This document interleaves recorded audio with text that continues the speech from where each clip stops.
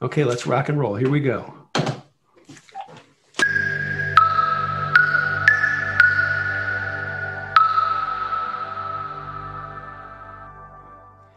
Let's get down to it. You're here, and the reason you're here is you're trying to figure out how to do this. So let's nuts and bolts it. Before I start, I'm going to back up one step and say this. And, and please take this the right way. Do you really want to do this? And you can say, well, come on, man, I'm here. No. Do you really want to do this? I mean, you have to ask yourself, is this, do I, do I, do I want to devote my energies and time to be a successful investor? And if you say yes, and you really mean it, then we'll get to work. And the only thing stopping you is you. A lot of people talk about winners. We have to talk about losses. And I'll just share this with you. Something I'm really big on at Mission Winners is keeping losses very, very small. I can't stress that enough.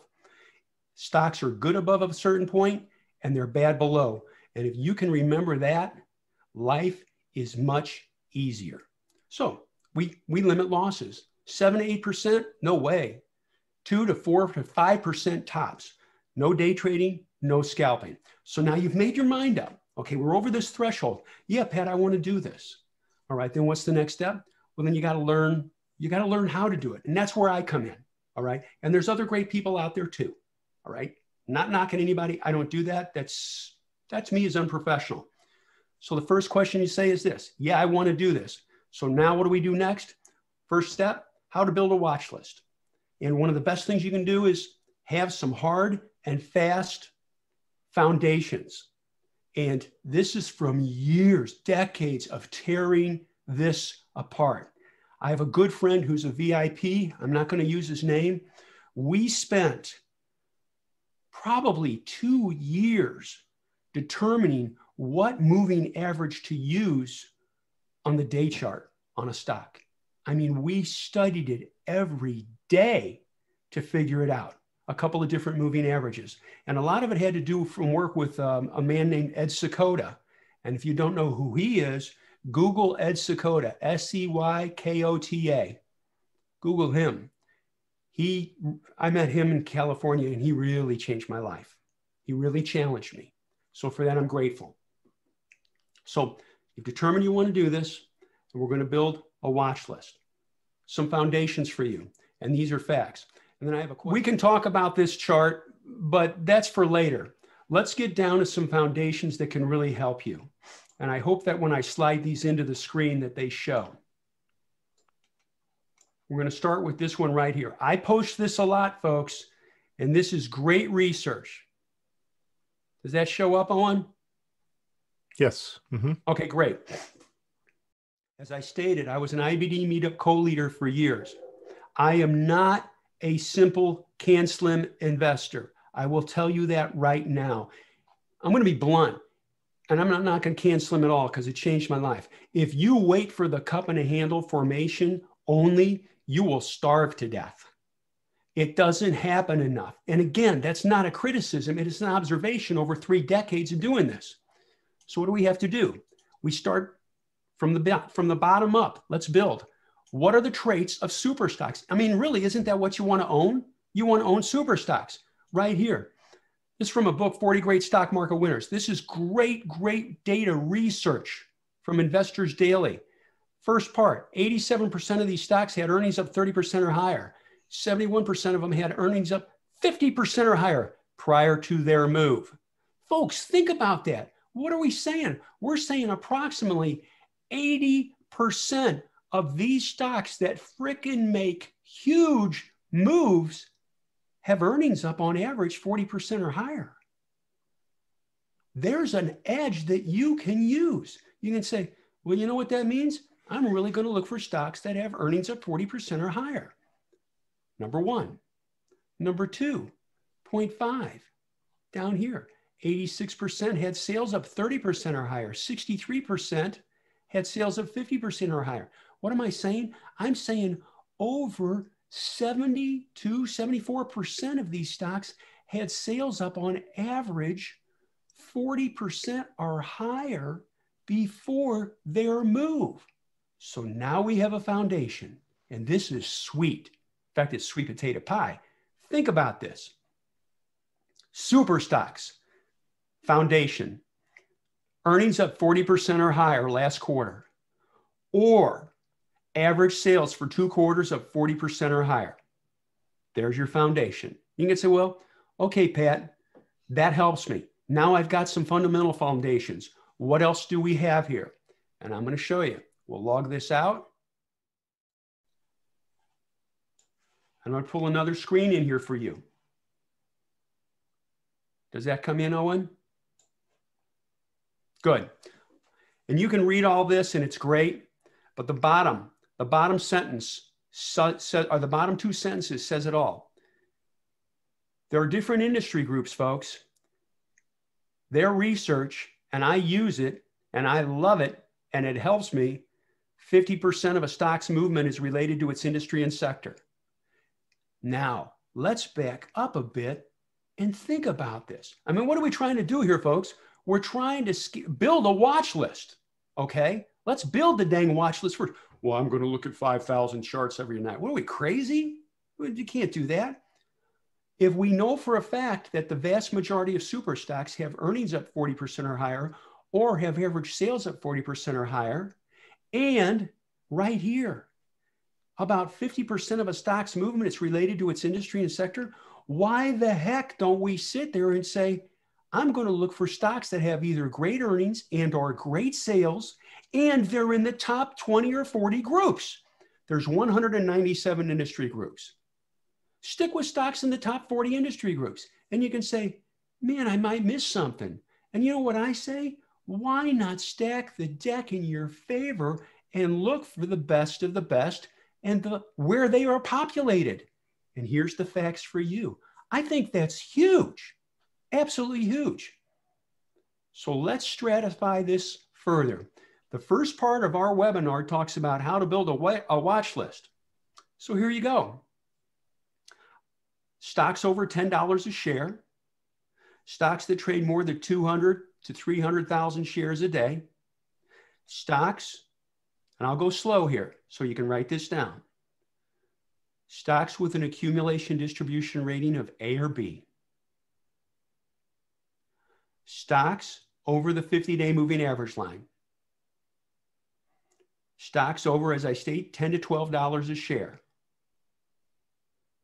stocks within 20% to 30% of 52 week highs.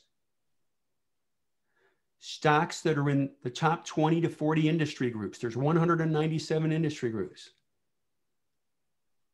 Stocks that, as I stated, have either earnings up 40% or higher or average sales for two quarters up 40% or higher. If you wrote that down and you stick with it you will make money. And you can say, boy, Pat, that sounds kind of arrogant and cocky. No, I'm just speaking from experience. It's a fact. You can say, well, I might miss something.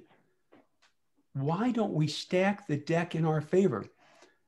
Years ago, I taught statistics on a university level. I'm a numbers guy. I want to stack the deck in my favor. It's like I might miss something. Well, let's suppose there's two fishing ponds, and in one, every every hour you catch, or the person fishing in that pond catches one good fish every hour.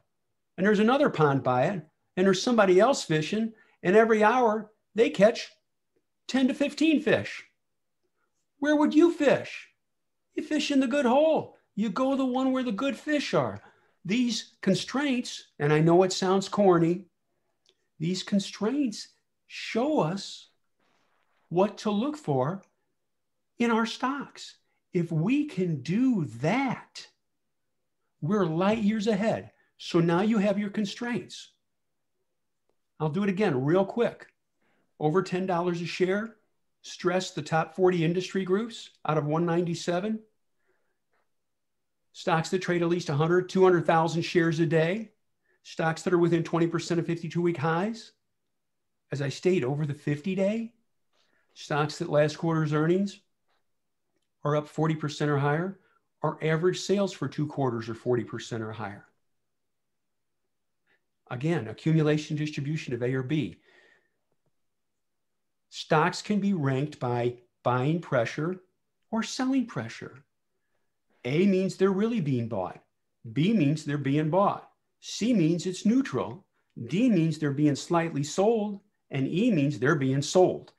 Well, what the heck? Let's go with it and stack the deck. You know what? I'm looking for stocks that last quarter's earnings, et cetera, et cetera, et cetera, are so and so, but the dang thing's being bought. Isn't that what you want? Strength. Strength begets strength. So now do you know what we have? If you take those constraints and put them in your system, you will have a great watch list of stocks. Now, we're going to go real world here, folks. What do you do with it? Well, sort it. You can say, well, how the heck do I sort it? Do I sort it by price, Pat? No. Here's a great tactic for you. Have you ever heard the phrase, birds of a feather flock together? This will help you. Sort it first by industry group rank. So all the stocks in the same industry group are together. How do you sort it second? Sort it second by percent off high. Industry group rank first, percent off high second. What does that mean? You're looking at the stocks in the leading groups and you looking at the ones that are the closest to 52 week highs. You're looking at the strongest stocks in the strongest groups. There's money there. I love it. Is it a gimmick? No, it works. I've been doing it since 1986. So, yeah, it works. It's it's the best. It's the best. Stick with it. Um, hey, Pat, let me jump in for a second. I, um, we got some people waiting, I guess, in the waiting room. And, oh, okay. I can't let them in because I've given you control. So I guess I need control back. You know, we do a few more of these webinars. We'll actually understand how this Zoom thing works. Is there anything I can do to help, Owen? Can you give me control back? Of over... course. How do I do that? That's a very good question. Let me see if I can just take control. Let me see. You want to razz in real quick? I might have to. Yeah. That's fine. Um, if you go over there, you see my name on the right hand side or do you just see a list of people that say uh, that's where it says admit? I'm just looking here. 19 people have entered the room. Um, you're sharing screen, stop share. I wonder if those 19 people are waiting because there's 73 in here. So maybe 19 are waiting. Okay, what could I do to help? Let me, you know what? Let me res into your machine. Sure, you're more than welcome to. So Owen is my partner. I've known him for a long time. And he truly is a wizard when it comes to all this. If it was up to me, I'd be talking into a can with a string. Take it away, sir.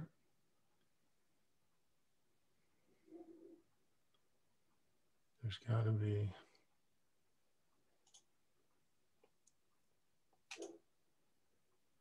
How about There's that? Doc. Huh? Look at that. Doc's there.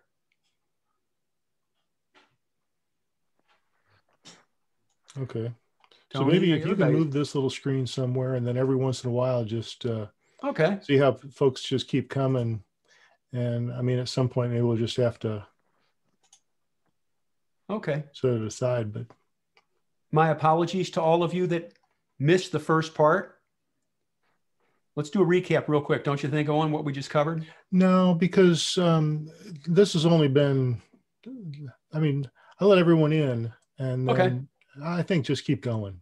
Okay, very good. Just to let you know, folks, we are discussing the fundamentals of super stocks, and I'm just going to do a two minute recap. Focus on stocks that are in the top 20 industry groups to the top 40 industry groups. Focus on stocks that have either earnings up 40% or higher or sales up 40% or higher on average for two quarters. Focus on stocks over the 50 day. Focus on stocks with an accumulation distribution of A or B. And by so doing, you will find super stocks. That's how you build a great watch list. I have about nine screens that I run. I put them all together on one list, sorted by industry group rank first, percent off high second. And that's my list for the week. That's what I look at. That's it. and it works like a champ. All these stocks that have done made huge moves were on that list, and I can document that. Okay, I could go back if you really wanted to needle me on it. I could pull up a, of course, it would have to be with Owen's help. I could pull up a key list from two years ago, and we could find some stocks on there. It's a fact. So anyway, that's how you build your watch list. The next part of this is what part does CanSlim play in our trading investing strategy? CanSlim plays a very large part in it, and I'll tell you why. I am looking for super stocks. Bill O'Neill, who I met years ago, as I said, changed my life as far as developing some specific foundations and rules and tactics on finding great stocks. Now, we took it a step further with mission winners. We are, and it's not knocking CanSlim at all, we're more stringent in what we're going to look for. And here's why we're not running a mutual fund, we're managing our own money. I mean, I see all these names on this list. You're managing your money and you don't want to mess up. And I don't blame you. You you want to um you know, you want to succeed at this. So instead of saying, I'm just going to throw something up on the wall and hope it sticks, we become very stringent in our tactics, screening tactics. So we know how to build a watch list. We've got that covered. So now, part two, going back to it, circling back. What part does CanSlim play in our trading investing strategy? As I started just a minute ago, a lot as far as finding great stocks. I love finding stocks that have great, great characteristics now, but great opportunity. So, do I use CanSlim? Yes. As I stated earlier, but for the new people that just came in, do I look for just for cups and handles? No, you'll starve to death looking for that.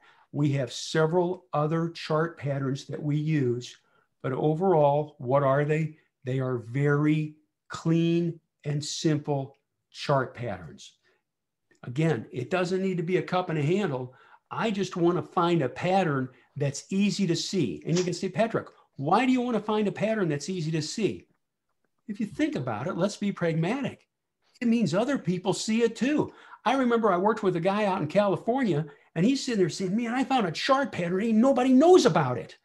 And I said to him, Well, if nobody knows about it, that uh, that means they probably won't buy, will they? They they don't know. They they don't know it. He goes, oh, yeah, I never thought of that. And that's why we really work hard on finding a couple of easily recognizable chart patterns. And one of our favorites, and we're going to show a few here later, just a clean and simple flat base. Just, you know, it's been going sideways for several weeks or longer. That's all. And it's really relatively tight and constructive. All right. And it's simple. When it pushes through the line, you know, if it, it's been trading between 18 and 20 bucks for three weeks, it finally pushes over $20 on heavy volume. You buy it. That's it. Now, I said something very important there, and I want to add something to it. I said it pushes through $20 please take note of this. And this will really help you. And this is the real world. When it's pushing through that clean and simple pivot point, what you want to see is you want to see a volume surge. And we've got some VIPs in this room right now, and I could ask them, and they could take it from right here and, and explain exactly what I'm talking about. Take a look at the daily chart and then narrow it down as it's approaching that clean and simple pivot price, look at the hourly chart and look at the 30 minute chart. Look for a volume surge as it's approaching and pushing through the pivot price. I'm telling you, if you do that, you will be light years ahead of other people. It works, it's the real world. This isn't textbook stuff. This is living in the trenches. All right. So you find a stock clean and simple. It's got all the fundamentals. And we'll say the pivot's 22 bucks and you're watching it and you're going, man, the stock's 21 bucks, 20, 22, 21, 40. Look at that. Look at that thing's approaching the pivot. Let, let me take it down to an hourly. Look at the volume coming into this sucker as it's approaching the pivot price. I'm just showing you what clean and simple looks like right there. It's just going sideways. And when it finally pushes through that clean and simple top, look at the volume surge. This is a phrase that I use a lot. People talk with their mouths and vote with their pocketbooks. I want to go with their voting. And how is that represented in a chart? It's represented by price, but volume, volume surges. As it's approaching the pivot price, this is the daily chart. Take it down to an hourly and or 30 minute chart and look for volume coming into it. If you don't see the volume, don't buy it. That will save you a lot of money and also save you a lot of heartache, you know, right there. It pushed right through. Look at the volume surge on the daily. Check this out right here. The day before, on this bar here, the stock did right there. It's clean and simple tops, by the way, folks. Just there's a white line and nothing fancy. On this bar, the stock did 42.7 million shares. Pushes through the pivot on 164 million shares. It did almost four times the volume on this bar than the previous bar. They voted right here. They voted right here. They voted. Look at this. On this bar, stock's just going sideways. On this bar, the previous day, it did 89, you can see it right there, 89 million shares. On this bar, 214 million shares. It did more than double the volume of the previous bar. They voted. And it's off to the races. If you can remember that, combined with great fundamentals, you have yourself your watch list. By the way, when NIO broke out, it was in a leading group. It was in the top groups.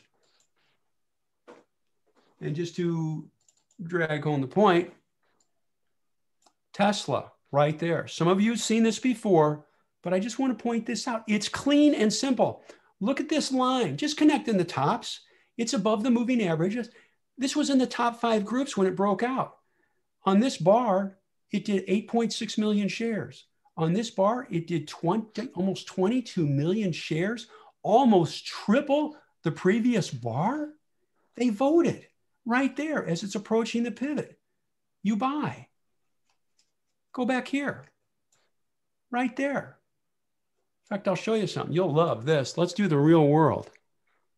Okay, there it is. I drew, I drew on the line. We owned this. Okay. And we're just watching it here and say, gosh, I guess if it pushes through this line, this clean and simple line, a sixth grader could see, maybe it'd be good to do. Maybe it'd be something good to do. Oh gosh. But what do we want to see when it pushes through that line, folks? We want to see volume. Oh, nothing there. Oh, picks up a little bit. Nothing yet, but you know, we got a line or nothing, just going sideways. It's above the rising 50 day, it's above the rising 21 EMA. It's just resting. Up starts to pick up. Oh, look, slight volume pickup, not much. Hasn't triggered yet, but gosh, I guess if it does, that'd be pretty good.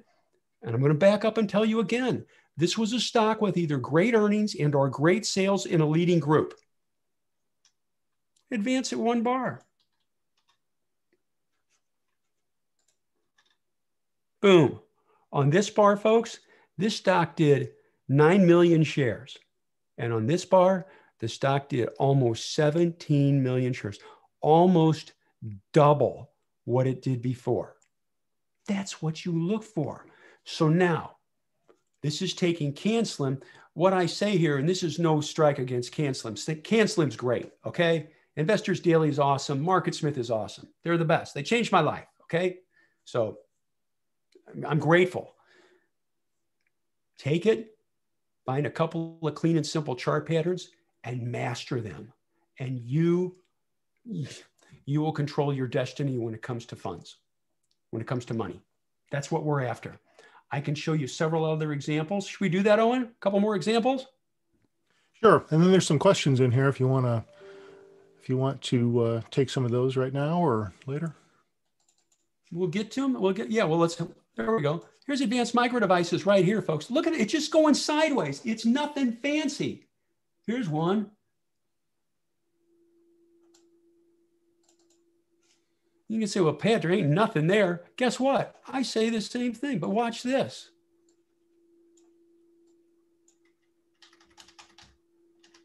Look at that. Nice long base. Just going sideways. Volume starts to pick up right there. Look at the volume pickup. And then it pushes through the next day. It's simple. If you focus on those, you will dramatically increase your potential for making money. DraftKings, I'll make this chart bigger. Right there. Training your eyes. You know, folks, I say this a lot. People talk with their mouths and vote with their pocketbooks. On the previous bar, the stock did 14.8 million shares. You can say, how the heck do you know that? See right here where it's got the V for volume? When I put my cursor on that bar, it says 14.76, 14.8. This bar, right here, 50 million shares off to the races. And then starts to top out, sell some into strength. This entire move, we never looked at 10 minute charts. By the way, this stock was in the top 10 groups. See that right here? Top 10 groups. That's what we're after. Makes life easier for us. So now, point three, how to properly scale in and out of a position. Here's what I found. You look for the clean and simple base. And I stress again, companies, I'm, I'm not nuts and bolts, and I am nuts and bolting everything here. I want to be extremely specific. We know the fundamental characteristics. We know the technical characteristics. We find both of them together and we wait for that pivot. By the way, I stress if it goes through there, but there's no volume, no power, we just don't buy it. And for the people that just joined, a great tactic is take a look at volume on the hourly and look at volume on the 30 minute chart. Look for that volume surge and you'll do much better. Can't stress that enough. So we're getting to point three here. How to properly scale in and out of a position. We'll do this, Owen, and then we'll answer some questions. Should we? Deal.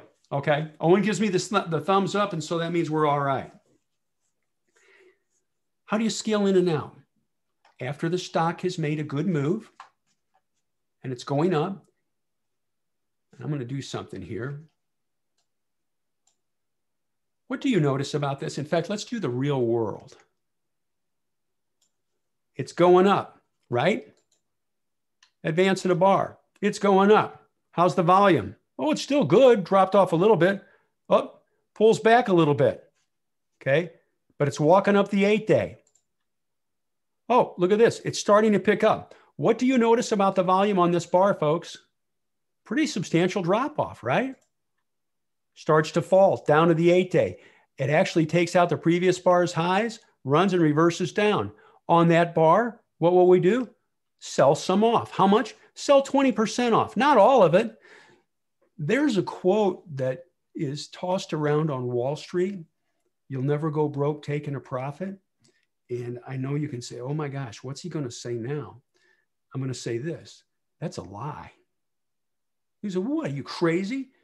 If your losses are bigger than your profits, you'll go broke.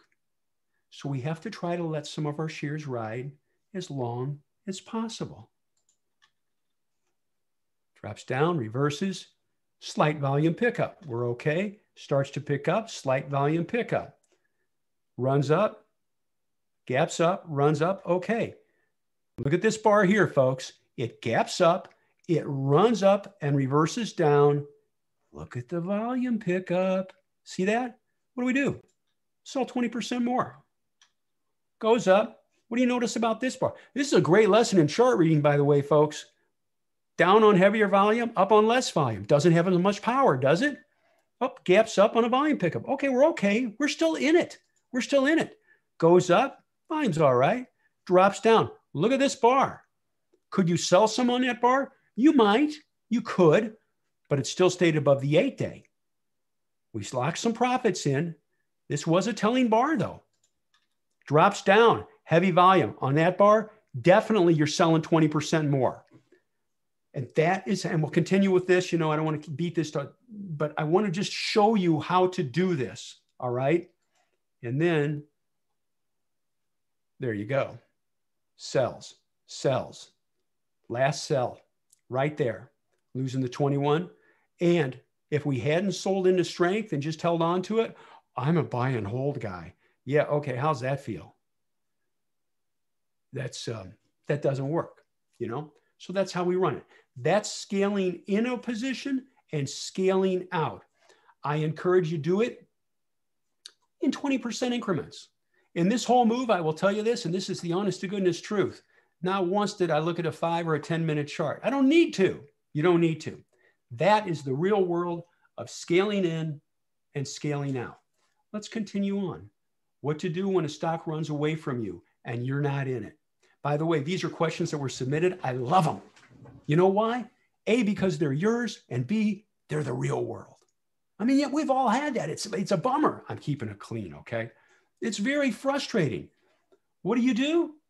Watch it and see if there is a pausing motion in it on a daily chart. Don't look at lesser time frames. See if it catches its breath for a day or two. And maybe in that period of time, the eight period exponential catches up with it.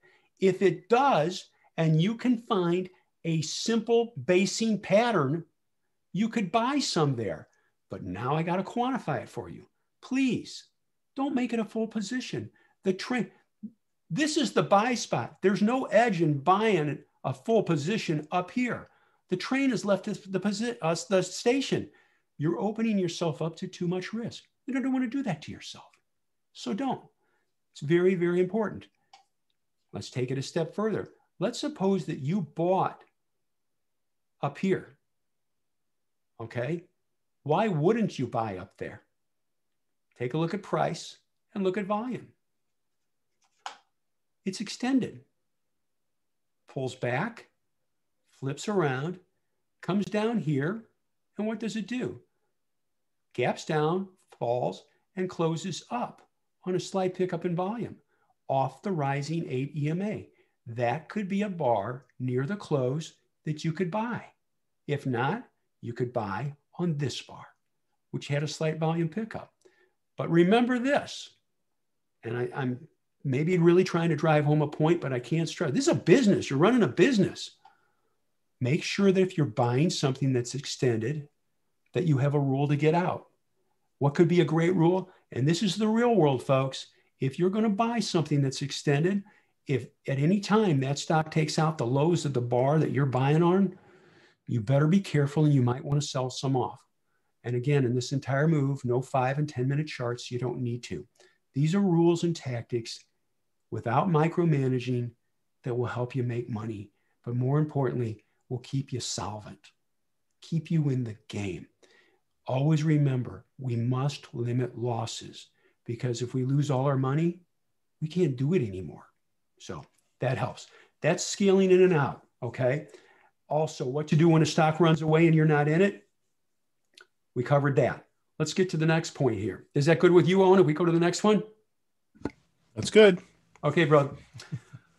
How to handle a gap up when you're long the underlying? Great question. You know what you do? You thank God, say, wow, this is great. I had to say it. I'm sorry. No, you're in it. Let it work. Watch and see what happens with it. Please don't get in the habit of every time something gaps up, I got to sell. No, don't do that. Oftentimes, that gap up that has good volume, all right, if it has good volume on that gap up, watch it that day and see how it acts. Now, if it runs up and then starts to reverse back down again, maybe we could find one. Oh, here we go, right there. How to handle a gap up right here. Why wouldn't you buy this bar right here? I'll make it bigger for you. Let's do that. Why would you not buy this bar right here? Where was the safe entry on this chart? Right there. Look at the volume surge on that bar. As I stated, people talk with their mouths and vote with their pocketbooks. They voted there. Okay. They were buying there. If, if you owned the stock already, you took a, your position here and it may be added to it during the day, on this gap up? Could you buy a little more Yes. How much more? Rules of proper pyramiding. If you started on this on this bar here, and we'll say that you bought a thousand, nah, that's too much. A hundred shares. If you're buying up here or you're adding here, rules of proper pyramiding, the most you're going to buy is either 50 or 30 shares. Please never double up. If you buy 100 shares on this breakout and you're adding to it, do not buy 100 shares more. Rules of proper pyramiding. This is from CanSlim level three and four. I will tell you, if your goal is to get up to $10,000 in a stock, you start as it breaks out, you start, and that's on long base breakouts, by the way. You start with 5,000. Stock goes up a couple of percent, you buy $3,000 more. Stock goes up a couple percent, you buy $2,000 more. Your goal is to get $10,000 in the stock, five, three, two. Here's the beauty of that. If it doesn't go up, you don't buy more stock. You've protected yourself. Isn't that great? It's the best of all worlds. I absolutely love it. Risk control. Risk control. Very, very important. I'm going to pause here and just share this with you. As far as risk control is concerned, this is a great quote from Ed Seykota. If you can't handle a small loss, I think it goes like this if you can't handle a small loss, pretty soon you're going to take the mother of all losses. All right. And for those who don't know who Ed Seykota is, S C Y K O T A, Google him and look at the returns he got in his accounts. All right. Just, just for what it's worth. So we handle a gap up. Last question I have here on this sheet, and it's a great one. Where's the market going from now until year end? I don't know. You said, what? What? I don't mean to sound like a smarty pants when I say that, but I'm just speaking the truth. When you accept the fact, this is my own thought and quote, when you accept the fact you don't know the future, you'll see the future far more clearly. We don't know the future. All we can do is accept the fact we don't know it and we act accordingly and we let price and volume guide us. Now, that being said, what I'm going to do is I'm going to go down here and we'll just take a look at QQQ. How's that sound? Here's QQQ. You all see it? This is a daily chart. Oh, let's address this, and I hope this helps you. This is the 50 period moving average. This is the 21 exponential moving average. And this is the eight period exponential moving average. 50 simple, 21 exponential, eight exponential. You can say, well, this is just chopping around right now. I'm in agreement. What's it going to do? Well, here's what we can do. Let's go to the weeklies. Let's do weekly. Here's last year. Here's right now. Okay. Here's last year. That's a nice move. Let's go back another year. In 2018, he was doing this in the end of the year. Let's go back to 2017.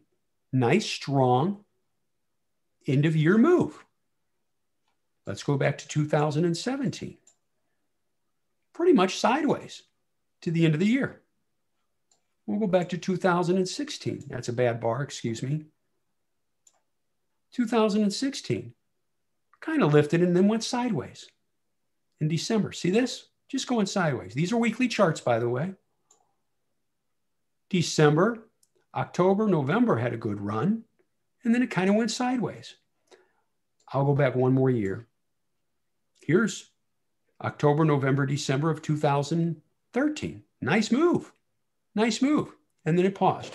So, where's the market going from now until the end of the year? Here it is right now. This is a weekly chart that you're looking at. It's oscillating back and forth, as you can see. I'm looking at the NASDAQ 100. I like that. That to me is a good proxy. You know why I like that one? Those are the big max list stocks, the growth stocks, the movers and the shakers. If a market's going to move, these will move. It's just going sideways right now, chopping around a little bit. I'll put this in the center of the screen so you can see it. It's just chopping around. Maybe it'll go sideways here a little bit and it will lift into the end of the year. And the best part about all this, This is why I love taking the approach that we do. We don't need to forecast. We let price and volume guide us, and we don't argue with it. If you can do that, you'll be light years ahead of everybody, and you'll be in charge of your future in the markets. You don't have to depend on other people and forecasting. I'm going to be brutally blunt. As I said, I was there for the crash of 87 and everything else since. I've been doing this over half my lifetime. I don't know where we're going to be at the end of the year. I don't. Nobody does. But I do know this by following price and volume, it can guide me. Price and volume and the action of the leading stocks. So it just makes it easier. I won't argue with it. I'll just get in line with whatever it's doing. And if it gets really crummy, I'll just sit tight and wait. I'll just wait because eventually it'll like it'll take off again. Okay. Mary's got a couple of questions in here. One I'm not real clear on, so I did unmute her. I don't know if she'll jump in or not. Mary, are you there?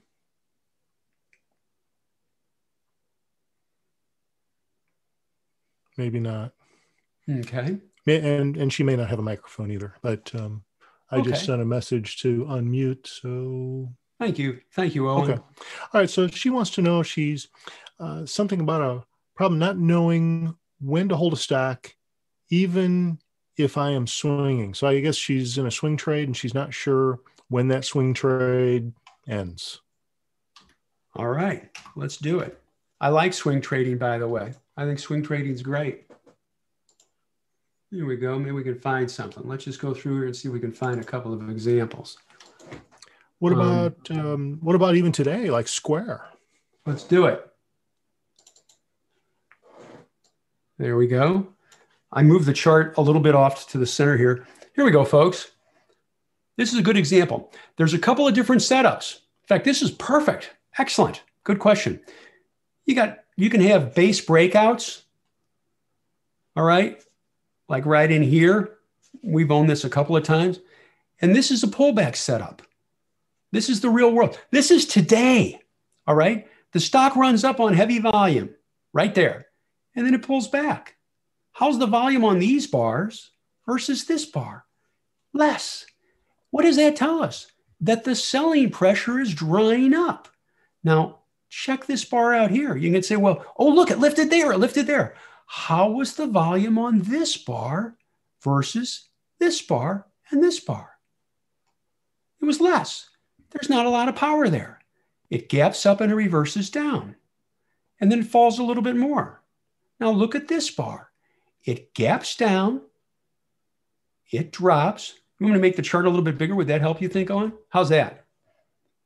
It gaps down, it drops and reverses and closes near the highs on a pickup in volume. And notice this it found support on the blue line. That's the 21 exponential moving average. Found support. Closed near the highs. This was on the key list. This was a pullback setup. What was the pivot or the buy? This is a swing trade setup, taking out the highs of this bar. And it did right here. And some VIPs bought it and it lifted. And as I say constantly, people talk with their mouths and vote with their pocketbooks. They voted. Now, this is a swing trade setup. As it was rallying up here, I advised them to sell some off, and they did two lots of 20%. By so doing, it guarantees a profit. This stock tomorrow could fall all the way back down to their purchase price, and they made money. They're in control. If it continues going up, they still own 60% of their original position. It's the best of all worlds. The best of worlds for profitability, but also the best of worlds for controlling risk. Got it all together right there. Also, I will tell you this in this whole move, because I was watching it too, no five minute charts. You don't need to use them.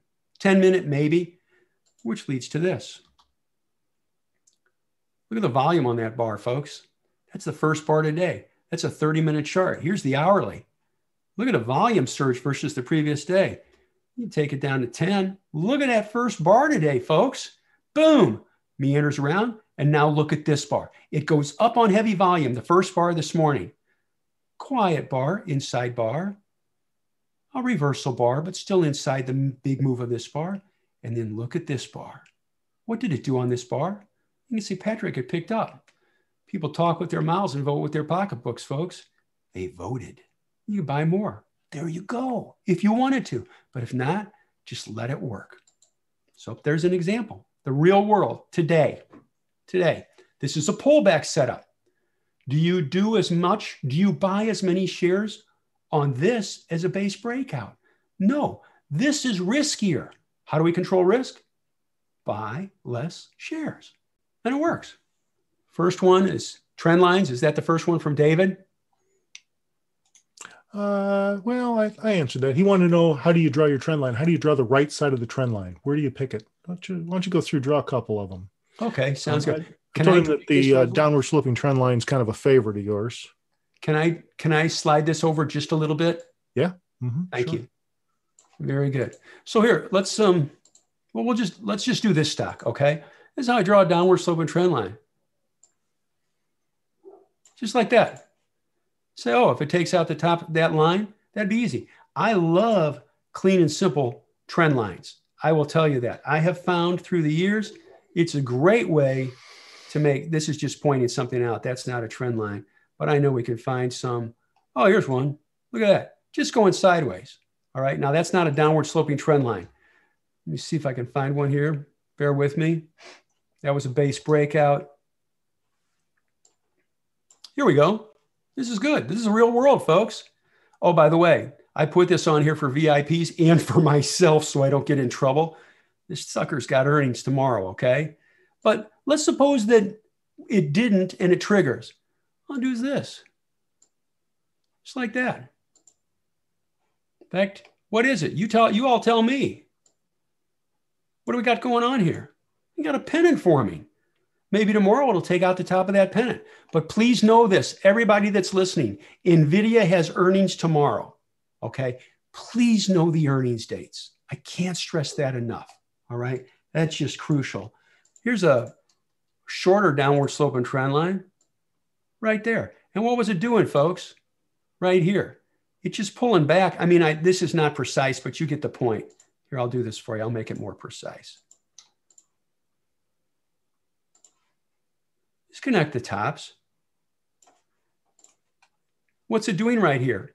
It's pulling back to the rising 8 EMA. Want to see something cool? Watch this.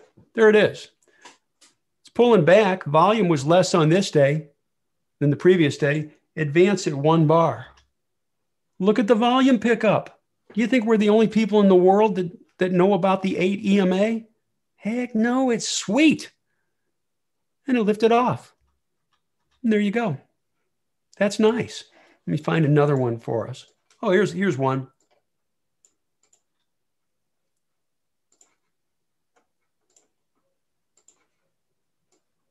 Just a simple downwards. You know, you connect, get close to the highs. Also, this something very important for all of you. Please don't think that oh, it's got to be exactly the the to the penny the top of that bar and to the penny of the top of that bar. No, just get close to it. Get close to it and you'll do just fine. I promise. It works. Let's see if we can find another chart, shall we?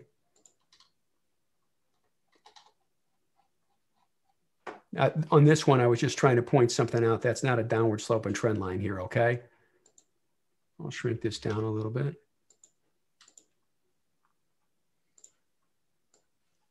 Right there. Just kind of vanilla.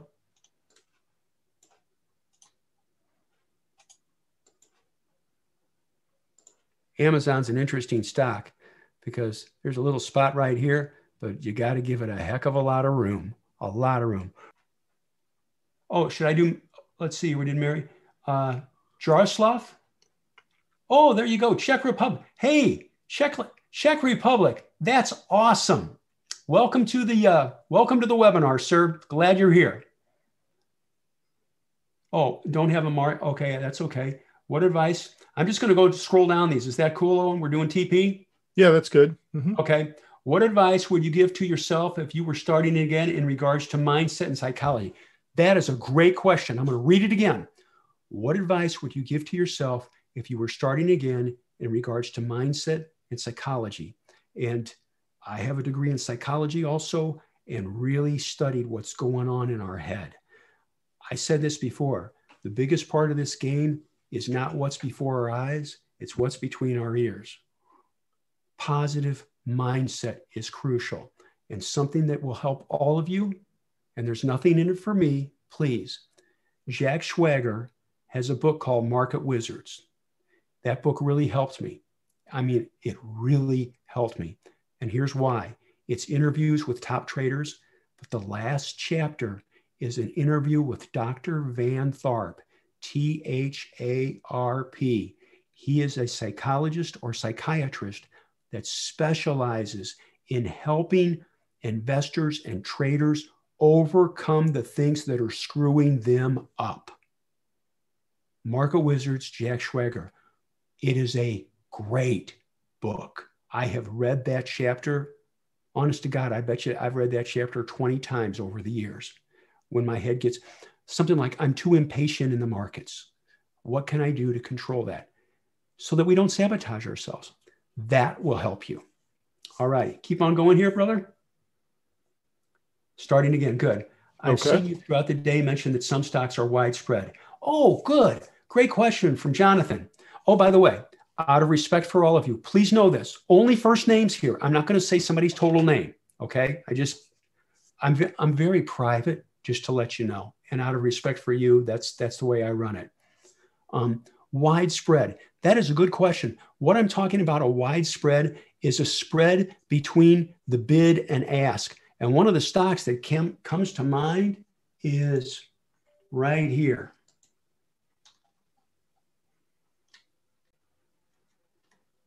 This one, TTD. Sometimes this stock trades with a really wide spread between the bid and the ask. Just be careful of that. And you can say, well, boy, it looks really good there. That's true. But that if you catch it at the wrong spot, that wide spread, you could buy it and it just downticks. Let's suppose you bought it for 780 bucks and the bid is 778. You bought it for 780 and the bid 778. And it downticks just from 780 down to uh, 779. That bid also drops a buck. Guess what happens? You're down $3 in the blink of an eye. You can say, well, percentage wise, that's not much. I'm in agreement, but hey, three bucks is three bucks. You got to be careful with it.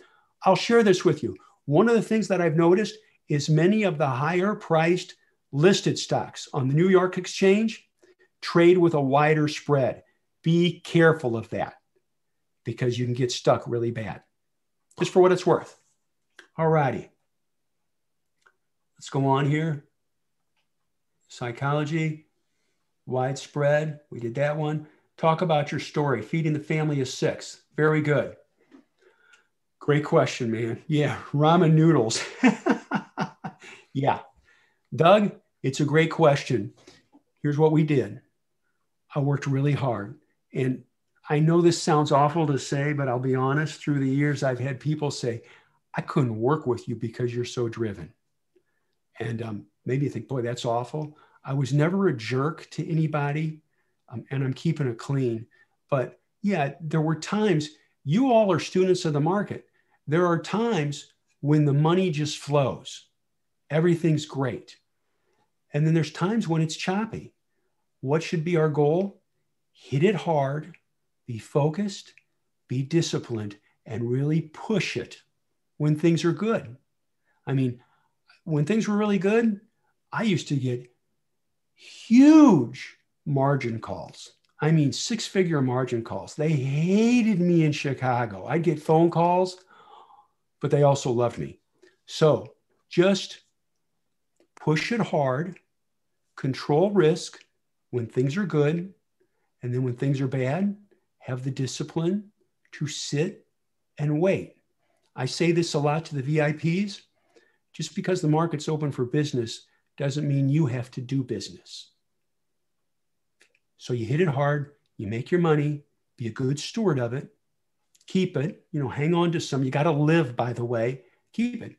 And, you know, the stupid phrase, but it's the truth. Save it for a rainy day because there will be periods that you'll need, you'll need to dip into it, which is very frustrating. But you know what's even worse? Thinking psychologically, I got to make money. I got to make money. And so you start doing things when the market is not in proper proper frame for you. And then you know what happens? You start losing. So then it's a double whammy. You're losing money and you're taking money out of the account at the same time. That's not good. I'm keeping it clean.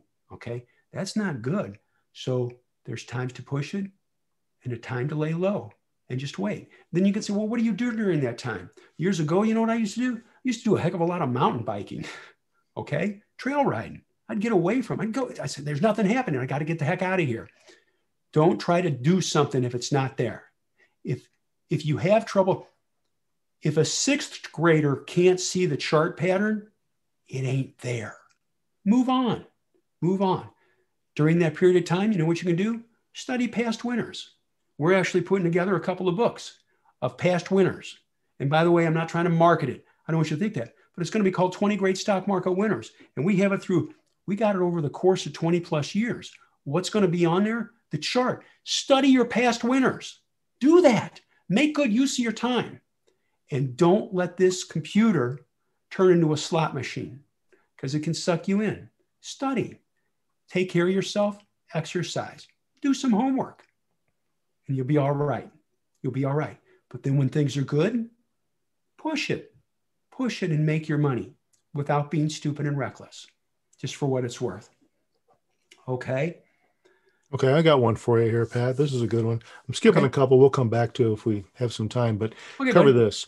Ernesto wants to know in your VIP program, when you teach and coach, do you will you eventually learn enough to fly solo? Yes.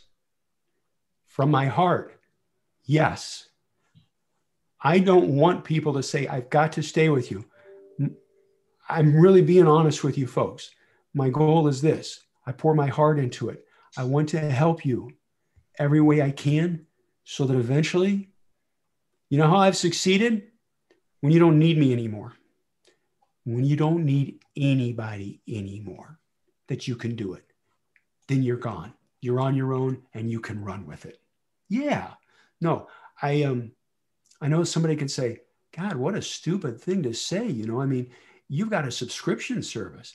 Yeah, but you know, morally, from a moral perspective, I don't think it's morally right to sit there and say, yeah, I just want them to stay and never leave. Please don't take offense to that if you're a VIP. I'm not trying to get rid of you, but I want you to become proficient enough that you can do it. Because if you don't, if you don't get there, then I failed. I didn't do what I was supposed to do. That, and I'm speaking from my heart. I will tell you, I'm speaking from my heart. So anyway, that's that's the cold hard facts, getting to the point where you can do it. And speaking of controlling losses, how about this one? April wants to know how do you scale out of a losing position? Great question. I'll repeat it. How do you scale out of a losing position? If it's bad, I sell it, all of it. Again, I was feeding six people. Now you know everybody's gone now except one's one's still home right now but all of them i got grandkids out there. How about that? Isn't that crazy? Three of them running around. Woo! don't say i'm old. You're going to make me mad. That won't work. But anyway i'm grateful they're here in, the, in town. If you've got a loss take it. Sell it. Sell it. You're like yeah but what if it comes back okay let's control what's up here sell one half and again this isn't textbook. This is the real world. I've been there. I know what, folks, I'm going to tell you something. I know what it's like to be down 200 points on a $600 stock. It's bad. It eats your head up alive. I know because it's happened to me. All right. And you can say, well, what stock was it? It was Amazon many, many, many years ago. It was stupid. It was stupid. Anyway, protect yourself. Protect yourself financially, protect yourself emotionally get livable. I read this someplace and I heard it from a guy I used to trade with. Uh, his first name's David. I'm not going to tell you his last name. Get livable.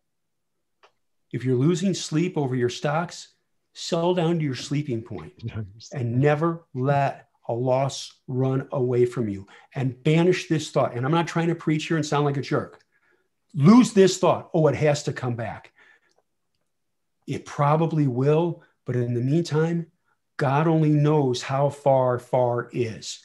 And it'll just, it causes something in you. And Van, and, uh, Van Tharp talks about it. You know what it's called? It's called the freeze. Do everything you can to avoid the freeze. Protect yourself. Protect yourself financially, protect yourself emotionally. And one of the best attributes of a successful investor and trader, you know what it is? You think this is corny? Short term memory. Move on. Move on. And if you get your butt kicked in something and you sell it, take it off your page. And no vengeance trading. Never. And I know you can say, boy, Pat, you're getting animated here. Please don't try to say, I'm going to make it back in that stock. I'm going to make it back. Folks, it's not a living entity. It doesn't know you exist. It doesn't even know us. It's just a stock that goes up and down in price. Just move on. That's all. This is good. Bill okay. wants to know about ETFs. You know, we do a lot with QLD and SSO, and typically we're saying, along with Bill O'Neil, that we hold around five to eight stocks in our portfolio. Yeah. He wants to know do you treat the ETFs as the same as a stock as far as position size, or do you go larger when you're when you're trading QLD and SSO? Great question. I can go larger in those two. Why? A, they're very fluid. B, you know, QLD, instead of owning one stock, you own a hundred of them. And you know what you own a ton of? The max list stocks. I love the max list stocks. So yeah, go bigger there but don't get reckless with them. And always, always, let me see if I can pull it up here. Here we go. Here's QLD. QLD, there you go. I mean, this, this has been really good to me. Folks, I want you to think about this.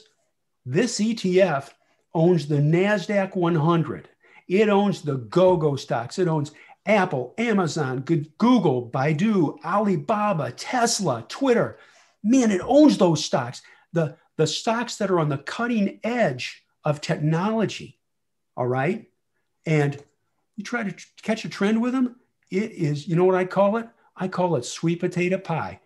But I do stress always try to find a clean and simple entry.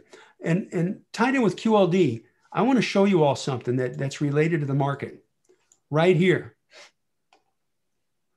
This is why you limit losses you buy here and it loses, you know, and it loses, and oh, it'll come back. And so you hang on with it. Let's suppose you bought it. I got to look at the number up here. You bought it in the 70s, okay? And you watched that animal drop all the way down and you lost almost half your money. That screws up your head. Be careful with that. But I'm going to I'm going to flip to a negative. We are a positive. We got out because we owned this and we got out. I ain't going to ride this animal down. Starts losing the 50. Look at the volume on that bar. People talk with their mouths and vote with their pocketbooks. Look at this thing when they gap down and losing the 50. Hey, don't argue with it because I don't know where the bottom is. And you can say, well, that's not too bad. Well, from 66 all the way down to 35, hey, that done flush. That done flush. But here's something I want to show you. This will help you in the future. Look what it does. It falls and then it rallies up. And what does it do? It falls. But notice here. What do you have right here? you have a higher low. When it started to lift right there, you know what we were doing? Big picture, higher low. We were buying. And that was sweet. Now, I want you to take note of something here. You see that date? That's April 3rd. You got a higher low here. Watch this. You're going to get more than you bargained for now. SSO. Remember I said the date, April 3rd? See this right here? You have a higher low here too. In fact, I'm going to do something for you. Can I do something, Owen? Mm-hmm. Sure, I can because I'm a, like a kid in a candy store. Here we go. He, he says that as if I have any input at all. You're great. Okay, here we go. I want you to look. First part of April. What do you have here on SSO? Tell me, folks, you got a higher low. What do you have here? Got a higher low, right? I want you to look at these two charts and I want you to tell me this is the 200 day moving average line. Which stock, which ETF was closer to the 200 day moving average line right here at that higher low? This one or this one? Which one's 200 day was going flat and which one's 200 day was falling? This one or this one? This was stronger, and that's why we bought QLD. There you go. That is the real world deal right there. And that was a great run. You want to see something great? Check this out. I get excited about this if you didn't know. Here we go.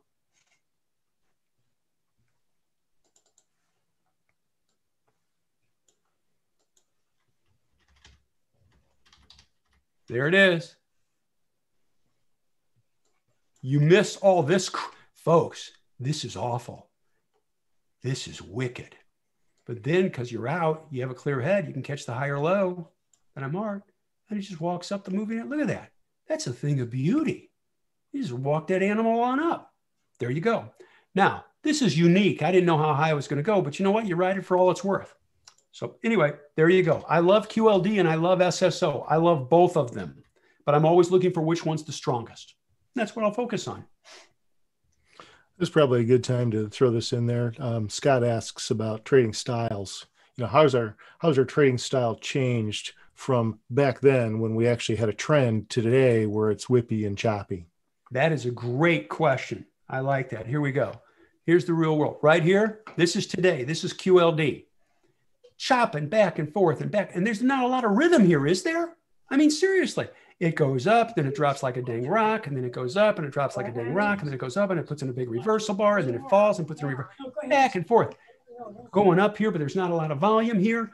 This back and forth action is really tough. So, what do I do with it? I'll tell you what I do. I pull back and I'll wait for things to settle down. When will it settle down? I don't know.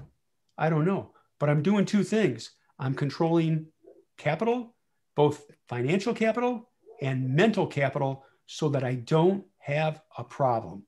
we wait. Eventually, clear skies come again, and we don't have a lot of baggage. We're not scarred, and we're able to go again, and it works out great. So, anyway, I hope that helps. Here's here's one. Um, okay. How do you recognize if the market is an up in, in an uptrend or under pressure. Uh, use IBD for this, but would like to understand what many great traders say. I look how the leaders act and not the indexes. Yeah, the indices. So you do, you look at the indices, but he wants to know how you determine whether the market's in an uptrend or if it's under pressure. And the second part is how do you spot those leaders? Great question. I, I love this. How do I spot the leaders? You're going to love this. We'll go back, back to the very beginning. I know the fundamental characteristics of the stocks that are going to be super stocks. I know they're going to have either great earnings and or great sales and they're in the top 40 industry groups and they're within 20 to 30% of 52 week highs. Man, I got that down. You've got that down. All right. Now all I got to do, you know the characteristics is wait for them. But I'm going to give you a couple of filters. Focus on stocks that are within after a big decline, maybe 30% off 52 week highs. Focus are the ones, like I just did that example on QLD and SSO. Focus on the ones that are refusing to fall. Let's suppose you've got eight stocks that you're interested in, and six of them are still falling in price, but two of them aren't, and they're starting to go back up. Those are your leaders. Those are your leaders. I promise. Focus on those. And the beautiful thing is, have you noticed this whole time I'm talking? I'm not looking at um, hourly charts and five. Just look at the daily and the weekly charts. Look at the bigger picture and say, hey, you know what, man, that thing looks awful. That one looks awful. Oh, look at that. That's really bad. Look at that. That sucker ain't falling. I'll be darned. That's probably a leader. And then what do you have to do? Just wait for the low risk entry spot. Look for, like right here, QLD. Look for a higher low a higher low. This low is higher than this low. And good volume on that pickup. That will help you dramatically. And I'll say it again, too. I'll tell you this, folks. There's nothing wrong with focusing on QLD and SSO. I think they're great. And the other thing I love is I love the max list stocks. I love them. They are big money flows there. Focus on those. We'll do something here real quick. Sorry about that. I got to drag this over, folks. Is that in the screen, Owen? It is. There you go, folks. Right here, there's the max list. There, there. I don't have any secrets. These are, this is what I always tell people. These stocks, nobody does what Apple does as good as Apple does it. Nobody does what Amazon does as good as Amazon does it. Blank, blank, blank, blank, blank, blank, blank. Now, is there rotation among those? Oh, yes. Yeah, some of these stocks right now are in the doghouse. Okay. But eventually they'll come back. Twitter, who, and I'm not endorsing Twitter. Okay. I'm not endorsing any of these. I'm just saying, think about Google. All right. I'm going to do an internet search. Yeah, I'm going to use Bing. What? No, you go to the franchise, you go to the best of the best. There they are. Tesla. Tesla was huge for us. Pre split, we made like 2,000 points on Tesla. Just, and I can document that. It, they're the best. They're the cream of the crop. Now there's other companies that are coming in like NIO and things. Focus on. That's the max list. If you want a great shopping list, right here, folks, in these ETFs, you can just do these and you will do extremely well. There you go. I got so many windows open. I don't know what I'm looking at. All righty. So do, do, you always? that was great. I'm the same way. You got my screen, your screen. How many monitors? Um, you've got three monitors too, don't you, Owen? Yeah. Yeah, I got three of them going here. I know my one buddy who's probably in here, he's got six of them. I'm not going to say his name. He's great though. Okay, go ahead. This this may go as this may go longer than so you'll have to figure out what how you're going to handle this. Hey, if it has to do with hair loss, no way. No way, you're not going down there. That's um, it. Do you always buy on descending trend line breakouts or also on upside reversal days and pullbacks? Oh, great question. Yeah, let's go in here and let's let's noodle this real quick. Probably just use the uh, let's just go on the max list. I'll drag that over. And here's what I'm going to do. I love any pattern. And I don't, I'm not trying to sound cute here. I love any pattern that is really clean and simple and easy for everybody to see. It does not need to be the cup and a handle. Any pattern that is easily recognizable, that, and this is important, historically has led to profits. And one of the best things you can do tied in with that, folks, study past winners. Study your past winners. And you can say, I don't have any past winners. Then you know what you can do? I'll make it easy for you. Just look at the max list stocks. Look at them on daily charts and look at them on weekly charts and focus on clean and simple entries. Now, this, this has gotten choppy in here, right? But notice this, folks. What do you have here? Make that a little bit bigger. Right there. It's connected the tops. You have a fairly clean downward sloping trend line right there. It's nothing fancy. You can say, well, gosh, I guess if it pushes above that line, it would be good. Now, this is what we do at Mission Winners. I want you to look really hard at this. It went up on good volume, but it fell on heavy volume on that bar, right? Then it meandered around, had very heavy selling on this bar, and then it lifted back up on less volume. And then it reversed down on a pickup in volume right here. And it just meandered sideways on decreasing volume. So the question I have is when you look at this, is there, this sounds simple, but it's the fact. Are there more green bars than red bars or more red bars than green? Well, it's easy. There's more red than green. They're selling in this right now. So, what does that tell us?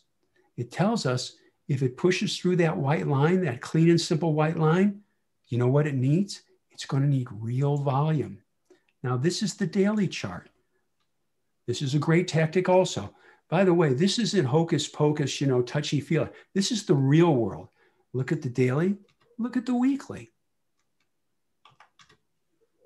Here's the weekly. And I'll make this a little bit bigger so you can see it. And I'll get rid of this trend line so that it's easier. But you can see just connecting those tops where I got it from, okay? So I'll get rid of this. We'll get rid of that and this. So now look at this. You're going to say, well, Patrick, from what you've told me, it's always important to look at the green bars and the red bars. Well, folks, here's the real world. Is that a good bar or a bad bar? That's a bad bar.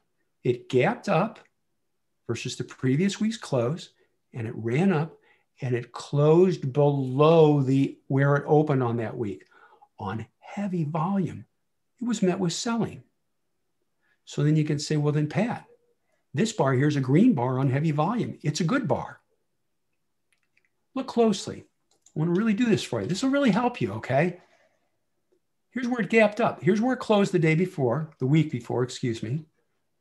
It gapped up and it ran up and it closed below where it opened on the weekly bar on heavy volume. It was met with sellers. That's great chart reading. I'm going to go through it again for you, okay? I love teaching this. This is really important, okay? This will help you. I promise. It's going to make you better than most people. Most of oh, it's a green bar on heavy volume. It's a great bar. Well, no, it's not. Look what the thing did. You got your butt kicked. Here's where it closes. And the next bar on a weekly, it gaps up. See the open right there? I'll make it even bigger for you. This is really important. It gaps up. See the close here? It opened there. It gapped above it. It gaps up and it runs up. But look at where it closes. It closed below where it opened on the weekly bar on heavy volume. It was met with selling, not buying. If you can look at that and combine those together, you will be light years ahead of other people. Light years. Can't stress that enough. Okay, Owen, should we run through that deeper? You want to run through that question again? We'll go further with it. Oh, I think we better. We've been going an hour and a half, and I think we said we'd go an hour to an hour and 15. So I think we should probably. Hmm. Buddy, I'm just getting started, man. I, you know I, me. Know. Well, that's that's the only thing I'm really good for here is to cut you off before you, you know, just go all night. Wait, I thought this was a six hour webinar. That's what we booked it for. I'm teasing. I'm teasing. Well, folks, yeah, we should. Okay, that sounds great. First off, I, and I mean this sincerely, I thank you for your time. I, I think you can tell. And again, there's a lot of people in here that I know. I see names that I recognize. Um, I recognize these, but I won't say them out of respect for you. But I just hope this helps you. I've gone through the frustration periods before where it's like, what the heck? I can't get this. I can't get this. And um, one of the best things I can tell you to do is this study past winners. And we do it every day with our members. We're constantly showing ones to train our eyes and train our eyes on, my, on what to look for. Always control risk. Please, if you re- only remember one thing, remember this. Please control risk, limit losses. Remember this a clean and simple entry will give you a clean and simple exit for a much smaller loss. Last thing I'll say ride trends for as long as possible. As long as it's going, just stay with some. And that's low stress money. Low stress money. Thank you all very much for your time. I oh, and thank you also. So appreciate it. And you again, have, have a good, safe rest of your week. And wherever you are, be safe, please. I thank you. Good night. Good night. Good night. Thank you very much. Thank you very much for coming. Good night. Have a good night. You too. Thanks, guys.